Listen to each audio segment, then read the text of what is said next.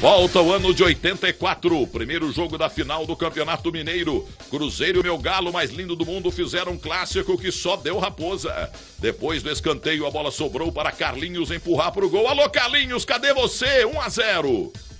Mais um escanteio, adivinha só quem fez? Ele de novo, Carlinhos, 2 a 0 Cruzeiro.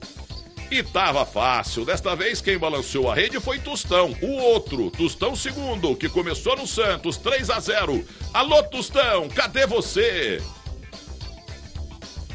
O meu galo até que tentou reagir, mas Carlos Alberto Seixas estava impossível naquele lance e fez mais um belo gol. Olha esse lance aí. Cruzeiro 4, Atlético Mineiro 0. Zebra.